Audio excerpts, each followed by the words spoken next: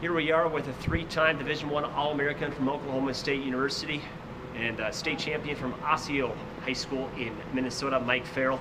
Mike, a lot of years of wrestling underneath your belt. You're uh, second winningest wrestler in Oklahoma State history. Your time at Oklahoma State, wrestling with the legendary John Smith, now helping out high school and and and college.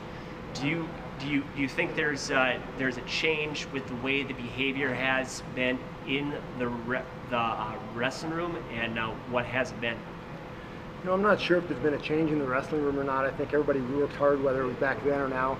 I think the difference is the access to the different levels of coaches through the internet, FloWrestling, and things like that. So, so many people focus on. So I think the technique is getting a lot better, and you probably have quite a few better athletes today than you did, you know, 30 years ago.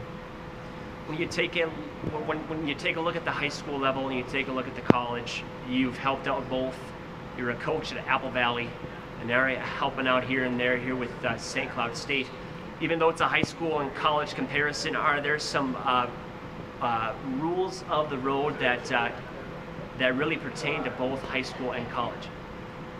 You know, I think they all have a dream and all have a, you know, a vision of being the best at whatever they're doing, whether it's the high school level or the uh, college level.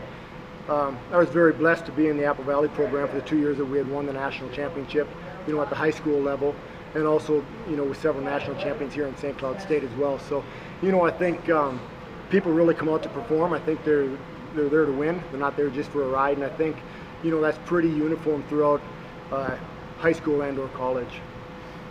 When, when you look at coaching at the high school level and now coming in into college and your time of actually being a wrestler conditioning wise i mean it varies from program to program but as you grow in in the sport as a spectator and now as as a coach do you do you think you learn something year in and year out about how uh, important it is to con, condi- condition?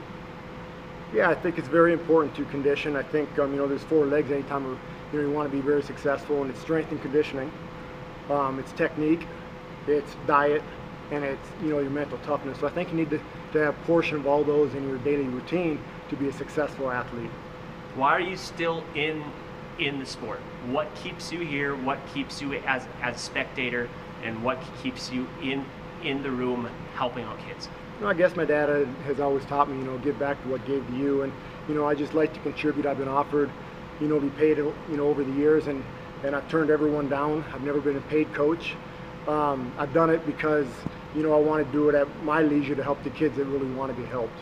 I, you know, I feel enjoyment out of that. I've mentored a lot of kids over the years, and they've all, you know, are great kids.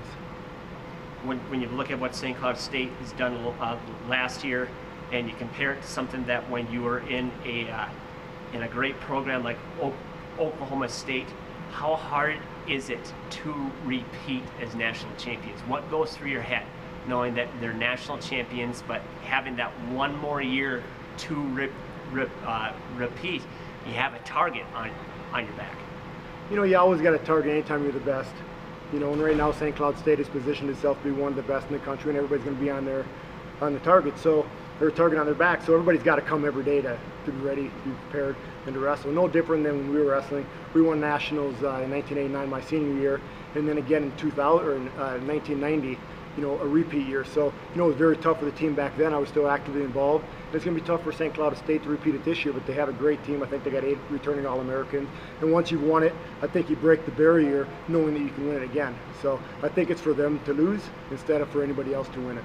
three-time division one all-american and state champion from osseo minnesota mike farrell thanks mike.